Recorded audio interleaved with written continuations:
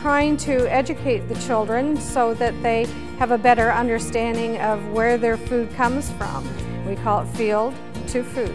It is a two-day event and we've invited uh, students from across Northumberland County. This year we have eight stations throughout the Roseneath Barn and each one of them speaks to a different aspect of agriculture such as sheep, honey, stewardship, beef, dairy, apples, grains, and chickens. We have a milking demonstration and a sheep shearing demonstration. The presenters are very passionate about each of their presentations and, and want to convey you know, that enthusiasm about what they do to the students. What's it called? Wool, that's right. Sheep produce wool.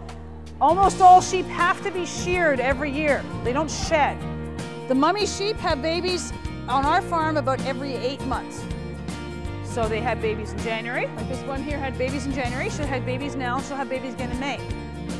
And they can have one baby, they can have two babies, they can have three babies, they can have four babies, and sometimes even five. So if you go to the grocery store, you'll find New Zealand lamb, you'll find Australian lamb, you might find lamb from the United Kingdom. We don't have enough sheep farmers. We need more sheep farmers all the time. Okay, is this cow a girl or a boy? Girl. How many stomachs does a cow have? Four stomachs. How many udders does a cow have? We have not charged the students anything to attend this event.